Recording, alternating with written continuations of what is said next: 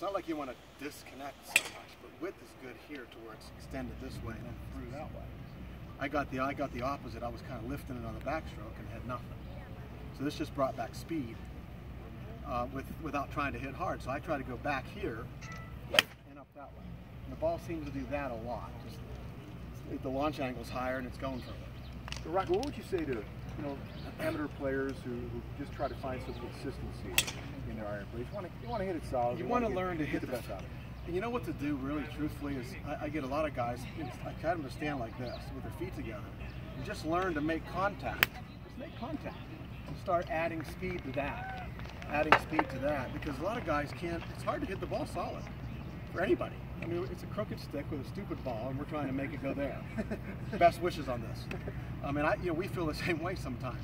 But I say, you know, as, as the club gets longer, you just try to, you're not trying to hit far when you're just trying to learn to hit it on the face.